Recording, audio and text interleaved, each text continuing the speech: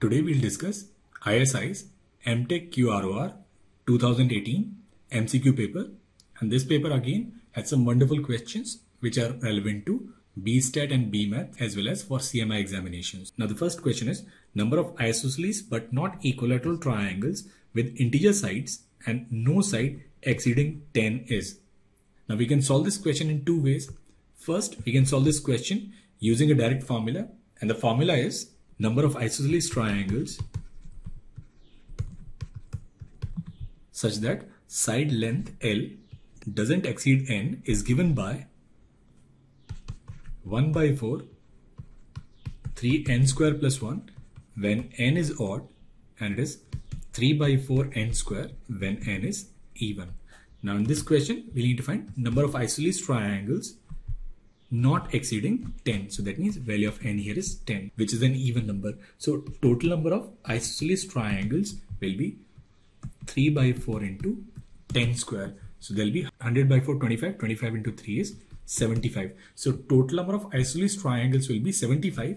But then we'll need only isosceles and not equilateral. So that means from these total 75 cases, we have to subtract all the cases when this triangle is equilateral. So this triangle can be equilateral with side 1, with side length 2, with side length 10. So from these 75 cases, we need to remove 10 cases. So the total number of triangles which are isosceles but not equilateral will be 65 and that's your option number A. Another method could be just by choosing the values of sides. So suppose the sides are A, A and B and we know that these sides they must follow triangle inequality. So that means 2A must be greater than B that is value of A should be greater than B by 2. So we'll choose B as 1 we'll get A as greater than 1 by 2. So all the possible values of A will be starting from 2 all the way up to 10.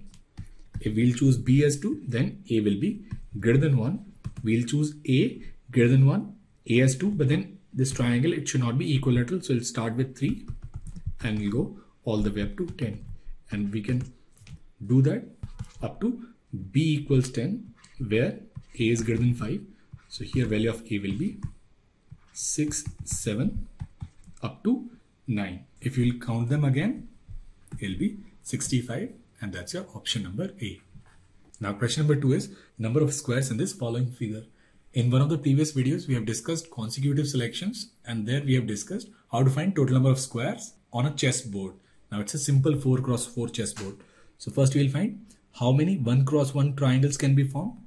So 1 cross 1 triangles will be 4 and then 4. So it will be simply 4 square. Now what about 2 cross 2? So for 2 cross 2 we need 2 consecutive horizontally and 2 consecutive vertically. Now 2 consecutive horizontally can be selected in 3 ways in the same way. 2 consecutive vertically there will be again 3 now for 3 it will be 2 into 2 and then 4 cross 4 it will be simply 1 into 1 so total number of squares will be 1 square plus 2 square plus 3 square plus 4 square and there will be n n plus 1 2n plus 1 by 6 so it will be simply 30 so total number of squares in this following figure will be 30 and that's your option number D.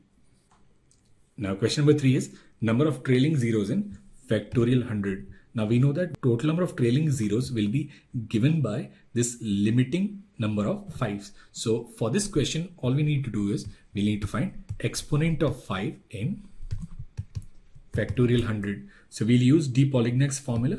So exponent of 5 in factorial 100 will be this greatest integer function 100 by 5 plus 100 by 5 square plus 100 by 5 cube.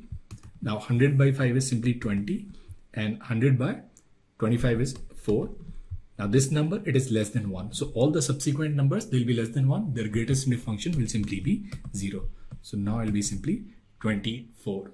So the total number of trailing zeros in factorial 100 will be 24 and that's your option number C. Now question number four is we need to find number of common terms in these two sequences and the sequences are 3, 7, 11 up to 407 and here it is 2, 9, 16 and then 709. Now we'll write general term for this sequence. So it'll be 3 plus n minus 1 and common difference here is 4. So it'll be 4n minus 1 and for this one it'll be 2 plus m minus 1 and common difference is 7. So it'll be simply 7m minus 5. Now we'll find total number of terms in this sequence. So total number of terms in the first sequence will be 4n minus 1 equals 407 that is value of n is 102. So first sequence has 102 terms and in the same way we can write it for second sequence which is 7m minus 5 and this is equal to 709 so it will be 7m and this is 714 the value of m will be 102 so both the sequence has 102 terms. Now we need terms which are identical to both the sequence. So that means we'll get this condition which is 4n minus 1 must be equal to 7m minus 5 we can write n as 7m minus 4 upon 4 or n is 7m by 4 minus 1. Now we'll get integral value of n when m is a multiple of 4. So we need to find how many multiples of 4 are possible for the second sequence. Now we are also given that value of n is 102. So that means this 7m upon 4 minus 1, it should be less than or equal to 102. So condition we'll get is 7m upon 4 is less than equal to 103. That is m is less than equal to 412 upon 7 which is 58.85. So we need to find all those values of m which are multiple of 4 and which are less than 58.85. So total number of such multiples will be this greatest integer function of 58.85 divided by 4 and which is 14. So the number of possible values of m is 14. So these two sequences they'll have 14 terms in common. So answer to this question is 14 which is option number B.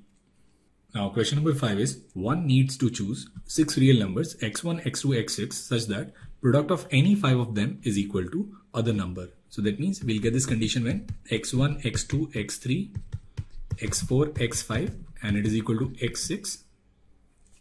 In the same way we'll get x1, x2, x4 and x6 it is equal to x5 and we can write this as x2, x3 and x6 will be equal to x1. So there will be six such conditions. Now what we'll do is we'll multiply all these expressions. So we'll multiply them on the left hand side. We'll get x1, x2, x6 whole to the power 5 and on the right hand side we'll get x1, x2, x6. So from here we'll get either x1, x2, x6 is 0 or x1, x2, x6 whole to the power 4 is equal to 1. Now we'll solve this condition. From here we'll get x1, x2, x to the power 6 will be plus or minus 1. Now when any one of them is 0 or other they'll be 0. Suppose x1 is 0 then x6 is 0, x5 is 0, x2 is 0. So one of the condition is when all these numbers x1, x2 and x6 they're all 0. Now we'll consider the second case when x1, x2 and x6 is equal to plus or minus 1. Now we'll put value of x1, x2, x3, x4 and x5 as x6. From here we'll get x6 square is equal to plus or minus 1. So that means the only possible option here will be x6 square will be plus 1 and if we'll do it for all the numbers then we'll get this condition that x1 square is equal to x2 square is equal to x6 square and it is equal to 1. So that means value of all these variables must be either plus 1 or minus 1. Now we need to find in how many ways we can choose these six real numbers so that product of any 5 is equal to other numbers. So one possibility is when all these six numbers they are 1. So that is a one case. Another possibility is when four of them they are plus one and two of them they are minus one. So it'll be one, one, one, one, and then minus one, minus one. So total number of such possibilities will be factorial six divided by factorial four, factorial two. So it'll be simply 15. Next one will be when two of them are plus one and four of them they are minus one. So it'll again be factorial six, factorial two, factorial four, which again is 15. And finally we have this condition when all the numbers there minus 1 which is again one case. So total number of cases. So this is 1 plus 1 2 and then 30 32 32 plus 1 33 so total number of such choices is 33 and that's your option number b. Now question number 6 is we need to find volume of this region which is given by mod x plus mod y plus mod z is less than equal to 1 now this region it is symmetric in all the 8 octants. So what we'll do is we'll find solution to this problem in first octant and then we'll multiply it by 8 to find volume of region in the entire 3D plane. So we'll take this first octant. Then we have this plane which is x plus y plus z. It is equal to 1. So we'll have this plane. It will intersect x-axis at 1, 0, 0, y-axis at 0, 1, 0 and z-axis at 0, 0, 1. Now it says it is less than equal to 1. So that means we are talking about volume of this tetrahedron. So we know that volume of this tetrahedron will be 1 by 6 and then box product ABC. So it is 1 by 6 and each of these side lengths they are 1, 1 and 1. So it will be simply 1. So volume in one octant is 1 by 6. So volume of this entire region will be 8 into 1 by 6 and that will be simply 4 by 3 and that's your option number D. Now question number 7 is GCD of all numbers of the form p square minus 1 where p is greater than equal to 7 is. We can write p square minus 1 is p minus 1 and p plus 1. Now we'll take three consecutive numbers p minus 1, p and p plus 1. One of them is divisible by 3. Now this p, it is a prime number. It is not divisible by 3. So that means 1 of p minus 1 and p plus 1 is divisible by 3.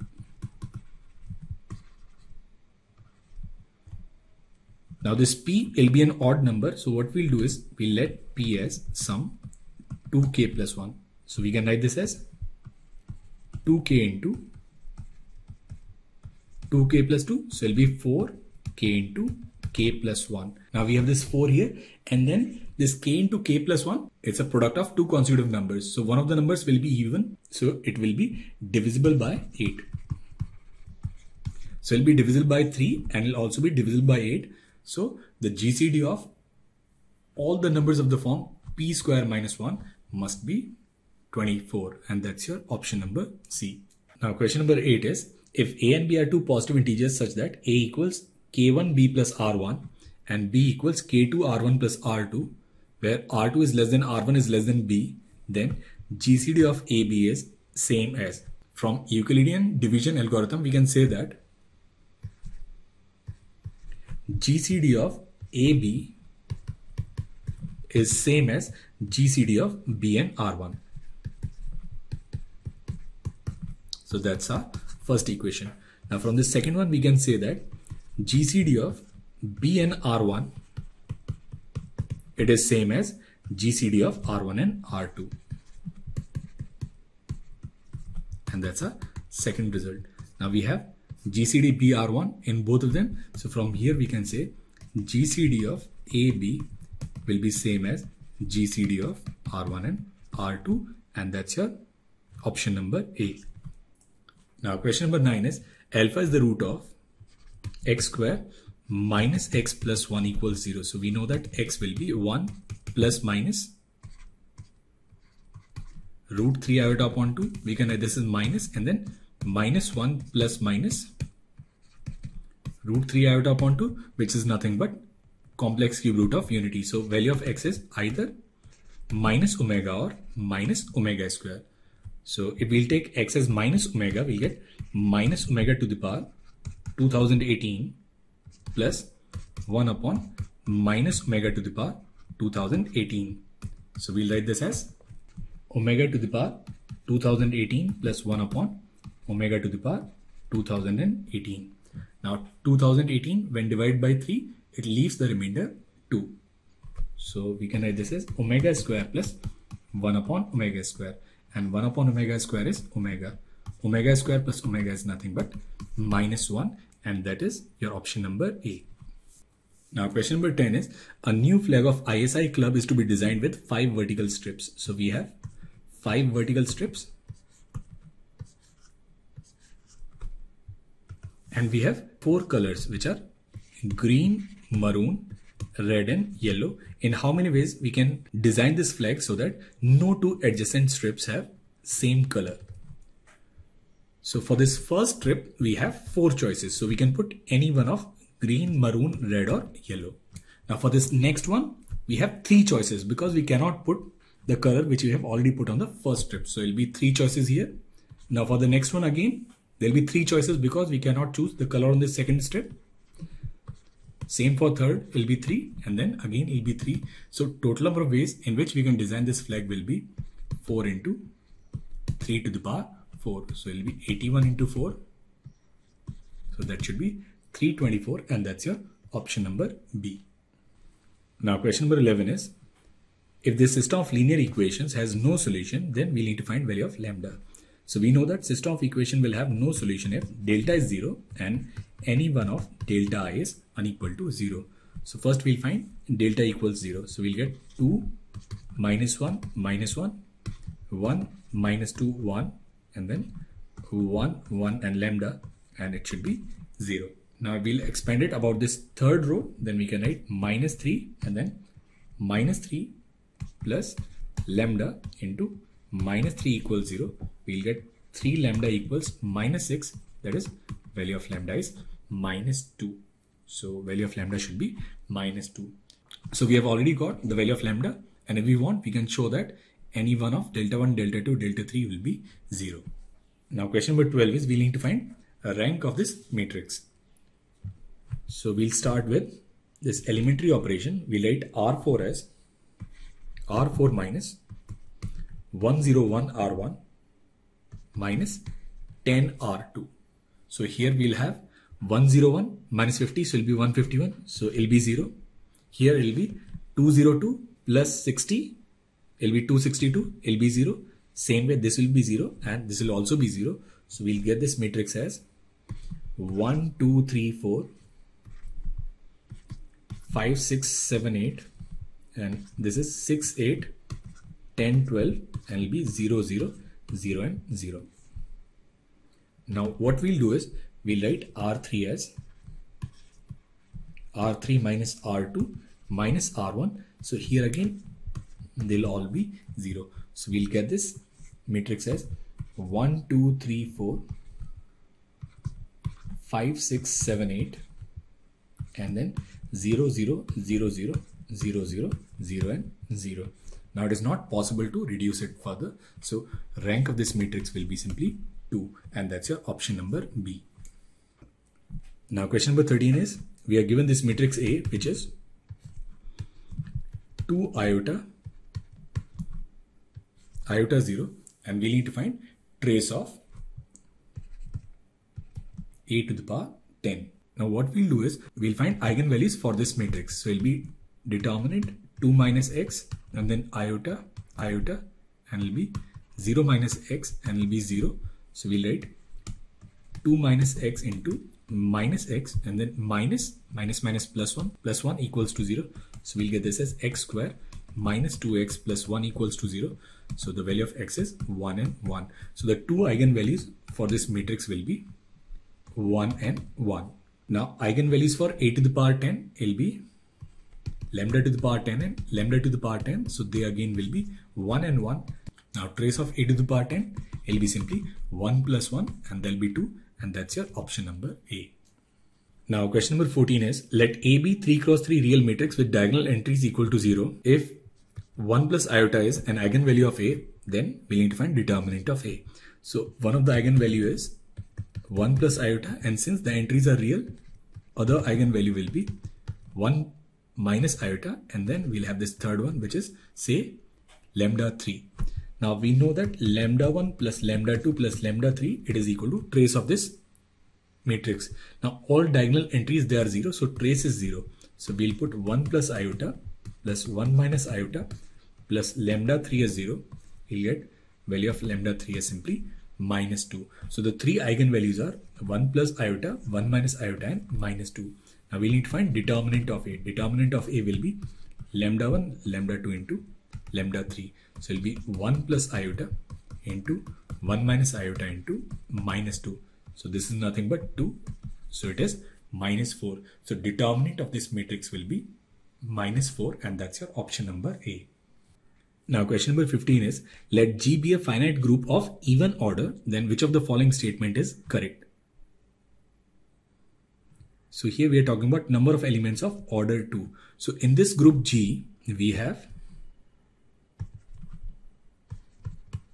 even order that is number of elements is even. Now since G is a finite group it will have one identity element then it will have some elements which are self-inverse. Let number of such elements be n1. So there are n1 elements which are self-inverse and then there'll be elements which are not self-inverse. Let this number be n2. Now this 1 plus n1 plus n2, it must be an even number. Now we know that if the element is not a self-inverse, then it will have a complementary element. So that means that means elements in this set always occur in a pair. So this n2 it will be an even number. So if n2 is even and their sum is even, so that means 1 plus n1 it must also be an even number. So if 1 plus n1 is even, so it simply means this n1 it must be an odd number. So number of elements of order 2 that is number of elements having self inverse must be odd and that's your option number B. Now question number 16 is consider a large village where only two newspapers P1 and P2 are available to the families. It is known that proportion of families not taking P1 is 0.48. So probability that a family doesn't take P1 is 0.48. That means probability that family takes P1 will be 1 minus 0.48 and will be simply 0.52. In the same way, proportion of families not taking P2. So that is P2 not, it is 0.58. That means probability that a family takes P2, it is 1 minus 0.58, it'll be 0.42. Now the next one is proportion of families taking only P2. So that means this is P2 intersection P1 not. So we know that it is given by P2 minus P, P1 intersection P2 and this value is simply 0.30. Now probability of P2 is 0.42. So this is 0.42 minus probability of P1 intersection P2 and this is 0.30. So from here we can write P1 intersection P2 will be simply 0.12. Now we need to find the probability that a randomly chosen family from village takes only P1. So that means we have to find probability of P1 intersection P2 naught. So it will be probability of P1 minus probability of P1 intersection P2. So probability of P1 it is 0.52 minus probability of P1 intersection P2 it is 0.12 so it'll be simply 0.40 and that's your option number C. Now the 17th question is there are 8 coins, 7 of which have the same weight and the other one weighs more. So let the coins be A, A, A 7 times. They are identical coins and then we have this other coin which weighs more than remaining 7 coins. Now in order to find a coin, a person randomly chooses two coins and put one coin on each side of common balance. If the two coins are found to have the same weight, the person then randomly chooses two more coins from the rest and follows the same method as before. We need to find the probability that the coin will be identified at the second draw. So that means in the first draw, we must get two identical coins. So here this probability will be 7C2 upon 8C2. Now in the next one, we must have one identical coin and this one distinct coin. So from these remaining five, we'll select one and then we'll get this as 1C1 divided by 2 from any remaining 6. So this is 7 6 and it is 8 7. This is 5 and this is 6 5 into 2. So this 5 will cancel, 6 will cancel, 7 will also cancel. So this probability will be simply 1 by 4 and that's your option number C. Question number 18 is let A1, A2, A3 and A4 be the vertices of a square. So we have this square which is A1, A2, A3 and A4. Now particle starts from A1 at a time t equals 0 and it can move to either A2 or A4 with equal probabilities. Suppose this probability is P. So this P is 1 by 2. Now we need to find this probability when t is 4 where t is the minimum number of steps required to cover all the 4 vertices. Starting from A1 it will cover all the 4 vertices when from A1 it goes to A2, from A2 it goes to A3, A3 it goes to A4 and then from A4 it goes to A1 or from A1 to A4, A4 to A3, A3 to A2 and then A2 to A1. Now moving in any direction, it is an independent event. So from A1 to A2, it will be P, A2, A3, it will again be P, it will be P and then P. So from A1 to A1, using this first route, it will be simply P to the power 4. In the same way, the probability of particle moving from A1 to A1 will again be P to the power 4. So the probability that this Pt equals 4 will be 2 times P to the power 4 where the value of P is 1 by 2. So it will be simply 1 by 8 and that's your option number C. Now question number 19 is let x1, x2 and xn be independent and identically distributed with pxi equals 1 equals pxi equals minus 1 equals p and then pxi equals 0 as 1 minus 2p for all i from 1 to n. Then we have defined an as this probability x1, x2, xn is equal to 1 Second one is bn which is x1, x2, xn as minus 1 and this third one where x1, x2 into xn it is equal to 0 and we have taken it as cn. So for any random variable xi there are three choices either will be 1, 0 or minus 1 and their corresponding probabilities are p, 1 minus 2p and p. Now since it represents a binomial distribution 1 minus 2p should be greater than 0 that is value of p should be less than 1 by 2. Now first we'll talk about an. Now an is this probability x1 x2 into xn and it is equal to 1. Now first we need to find in how many ways we can choose x1 x2 and xn such that its product is 1. Now one of the way of choosing it is when all the values they are 1. So if all the values they are 1, then we have only one case. Next one could be when n minus 2 values are 1 and then 2 values are minus 1. Then again their product will be 1. So from these n, we need to select 2 which will have the value minus 1. So it will be simply nc2. Next one will be all ones except 4 minus 1s. Here it will be simply NC4. It'll continue till we have maximum number of minus ones possible.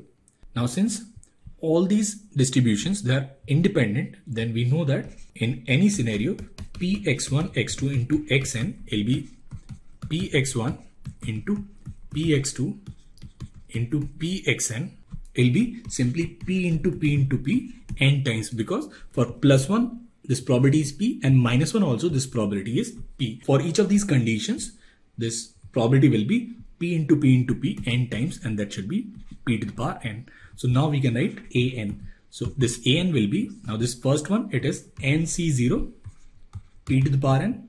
Second one will be nc2 p to the power n, nc4 p to the power n. So we'll get this condition as nc0 plus nc2 plus nc4 into p to the power n. Now we know that the value of this binomial series is 2 to the power n minus 1. So it will be 2 to the power of n minus 1 into p to the power n. So it will be 1 by 2 into 2p to the power n. Now we'll take this limit, limit n tends to infinite an will be 1 by 2 and then 2p to the power n. Now 2p is less than 1. So if 2p is less than 1 then 2p to the power infinite will be simply 0. So value of an it tends to 0. Now in the same way we can prove the result for bn. So for bn we'll start with minus 1 minus 1 and then we'll replace minus 1s with plus 1s. So we'll again end up getting the same expression. So from symmetry we can say this bn tends to 0. So an tends to 0 and bn tends to 0. Now we know that either this product will be plus 1 or this product will be minus 1 or this product will be 0. That means sum of an plus bn plus cn will be 1. Now limiting value of an and bn, it is already 0. So from here we can say limiting value of cn will then be 1. So answer to this question will be an tends to 0, bn tends to 0 and cn tends to 1 and that's your option number D. Now question number 20 is consider a set of all functions from this set from 1 to m to 1 to n where n is greater than m. If a function is chosen from this set at random, find the probability that it will be a strictly increasing function. So we need to find this probability. So first we'll find total number of functions that can be defined from this set containing m elements to the other set containing n elements. Now for each element we have n choices. So it will be n into n into n m times. So total number of functions will be simply n to the power m. Now in the numerator we need to find total number of strictly increasing function. Now if it is strictly increasing function then that function will be a 1 1 function. So for these m elements we'll need to choose m elements from this set containing n elements which can be done in n, c, m ways. Now once we have selected these m elements then we have to map them in an increasing order. So there is only one arrangement possible for all these numbers. So this probability will simply be ncm upon n to the power m and that's your option number A. Now question number 21 is we need to find angle between tangents drawn from the point 1 comma 4 to the parabola y square equals 4x. Now for this parabola value of a is 1 we know that equation of tangent is given by y equals mx plus a by m. Now in this case value of a is 1 so equation of tangent will be y equals mx plus 1 by m. Now we need tangents which pass through the point 1 comma 4. So we'll put the value of x as 1 and y as 4. So it'll be 4 equals m plus 1 upon m. So we'll get this equation as m square minus 4m plus 1 equals 0. So we'll add 3 both sides. We'll get m as 2 plus minus root 3. Now we need to find angle between tangents. So we know that angle between tangents is given by m2 minus m1 upon 1 plus m1 m2. Now m2 minus m1 will be simply 2 root 3 and then 1 plus m1 m2. 1 plus m1 m2 will be 2.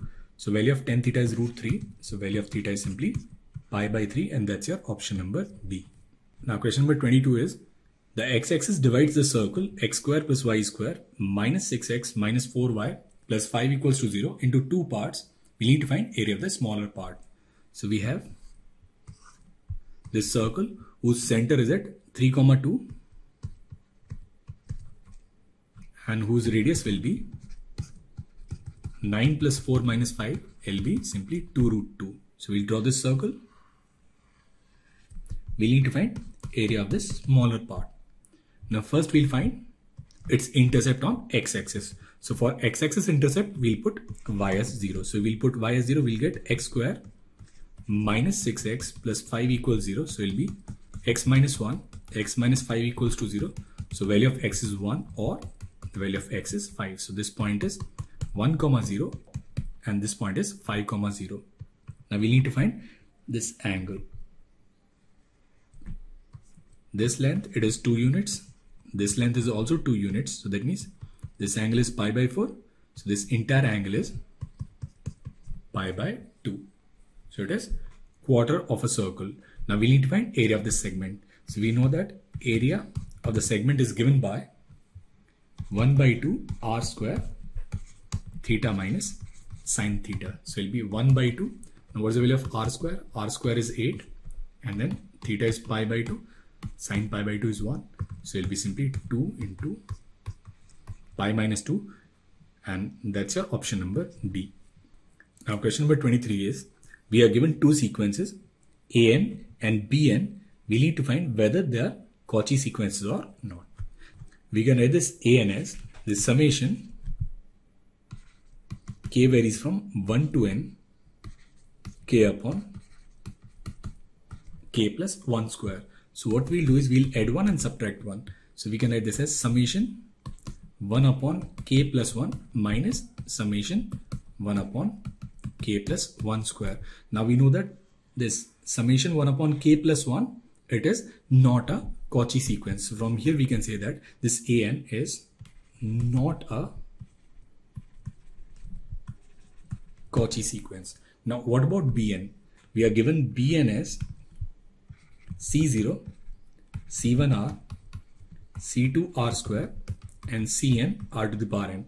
Now we'll take mod sign, we'll write it this way and it will be less than mod of c0 plus mod of c1r mod of c2r square mod of cn into r to the power n. Now any ck it is always less than equal to m. So it is less than or equal to m into 1 plus r plus r square up to r to the power n. Now it will be less than 1 plus r plus r square up to infinite. So we can write mod of bn will be less than m upon 1 minus r.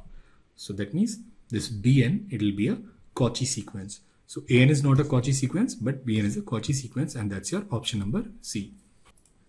Now question number 24 is, we need to find sum of this infinite series, which is 1 plus 2 by 3 plus 6 upon 3 square 10 upon 3 cube and this series it continues up to infinite. We'll take this one on the left hand side. We'll write s minus 1 is 2 by 3 6 by 3 square 10 by 3 cube up to infinite. This right hand side it is AGP. So what we'll do is we'll write the series again but by displacing it with one term so it'll be 2 by 3 6 by 3 square and then we'll multiply it with its common ratio which is 1 by 3 so it'll be 1 by 3 it'll be 3 square here and 3 cube here. Now we'll subtract this second series from the first. We'll get 2 by 3 into s minus 1 it'll be 2 by 3 4 by 3 square 4 by 3 cube up to infinite. Now this is nothing but infinite geometric progression we connect 2 by 3 s minus 1 and will be 2 by 3 and then a which is 4 by 9 upon 1 minus r. r is 1 by 3. So we'll get 2 by 3 s minus 1 and this is equal to 4 by 3.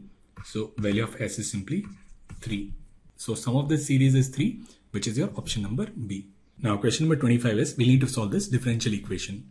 So we can write this differential equation as y dx plus xy whole square y dx plus xy whole square x dy minus x dy equals 0. So we'll take xy whole square common. So we'll write xy whole square and then we'll get y dx plus x dy and L be equal to x dy minus y dx. Now we'll divide everything with xy. So we'll write xy and it'll be y dx plus x dy and this is dy upon y minus dx upon x. Now this is nothing but dxy. So we'll get this as xy into dxy and it'll be dy upon y minus dx upon x. So we'll integrate, we'll get xy whole square upon 2 and be log y minus log x plus c. So answer to this question will be xy square will be 2 times log y minus log x plus some 2c which is again constant c. And that's your option number D. Now question number 26 is we need to find the sum of this binomial series. So what we'll do is we'll begin with this series which is 1 minus x to the power n and it'll be c0 minus c1x plus c2x square and then minus 1 to the power n into cn. Now we'll multiply it with x. So we'll write x into 1 minus x to the power n It'll be c0x minus c1x square plus c2x cube plus minus 1 to the power n cn into x to the power n plus 1. Here it should be x to the power n. Now we'll integrate this expression from 0 to 1.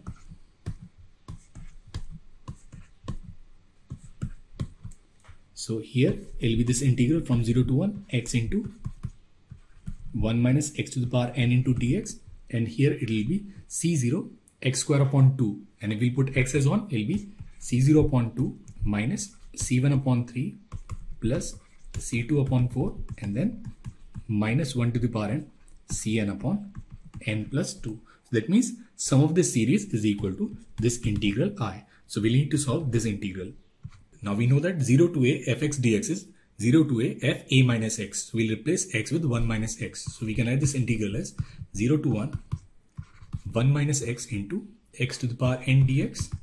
So it'll be 0 to 1 x to the power n minus x to the power n plus 1 into dx. Now we'll integrate, we'll get 1 upon n plus 1 minus 1 upon n plus 2. So it'll be 1 upon n plus 1 into n plus 2 and that's your option number D. Now question number 27 is we need to find number of real solutions of this equation. So we are given this equation which is x to the power 7 plus 2x to the power 5 plus 3x cube plus 4x equals 2018. So what we'll do is we'll consider a function fx and which is x to the power 7 plus 2x to the power 5 plus 3x cube plus 4x minus 2018. Now we'll differentiate it. We'll get 7x to the power 6 plus 10x to the power 4 plus 9x square plus 4. Now all these parts they are even power with positive coefficients. So that means f dash is greater than 0. So this fx is strictly increasing function. Now this function is continuous and differentiable and is strictly increasing. Now since it is an odd power, it will start from minus infinite and it will go all the way up to plus infinite and being a strictly increasing function, it will intersect x-axis only at one point. So number of real solution to this equation will be only one and that's your option number A.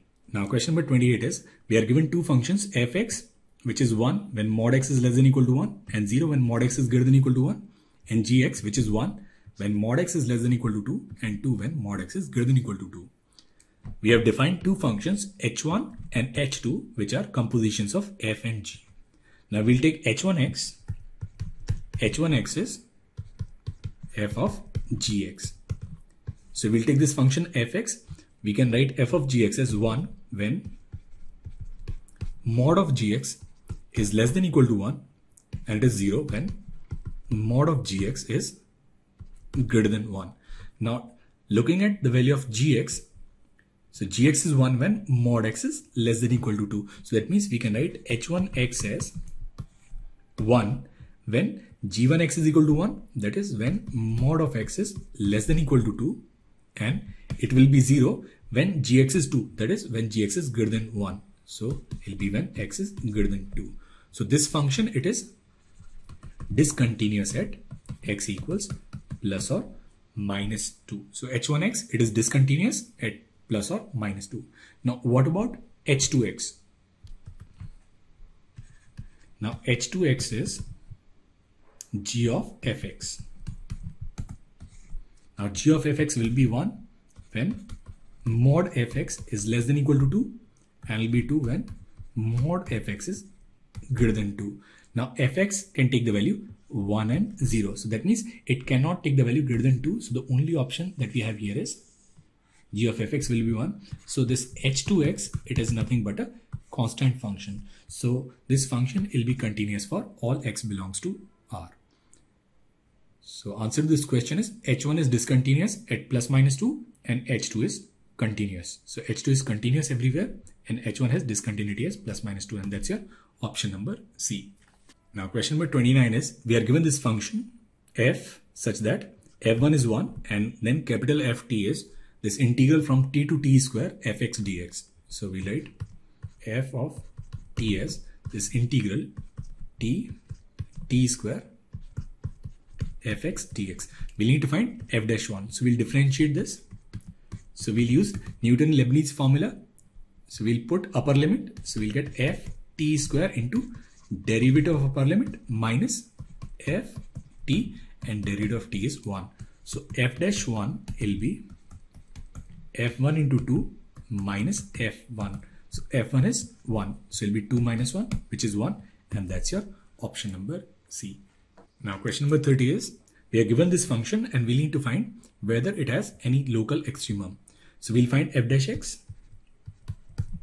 So f dash x will be 1 plus x plus x square upon factorial 2 plus x to the power n upon factorial n e to the power minus x into minus 1 and then plus e to the power minus x and if we'll differentiate this we'll get 1 plus now this is 2x upon factorial 2. So it'll be x upon factorial 1 plus this one is 3x square upon factorial 3. It'll be x square upon factorial 2 and here will be x to the power n minus 1 upon n minus 1 factorial. Now we'll take e to the power minus x common. So we'll take e to the power minus x common then 1 will cancel, x will cancel, x square upon 2 will cancel. We'll get minus x to the power n upon factorial n. So f dash x will be minus e to the power minus x into x to the power n upon factorial n. So the only critical point in this case is x equals to 0. Now we'll take x as 0. If n is even, there'll be no sign change. In that case, there'll be no extremum. So when n is even, we'll have no extremum. And when n is odd, then there'll be sign change at zero. So rightmost is minus, this is plus, it'll have a local maxima at x equal to zero. So answer to this question will be, it will have no local extremum if n is even and it will have a local maximum if n is odd and that's your option number D.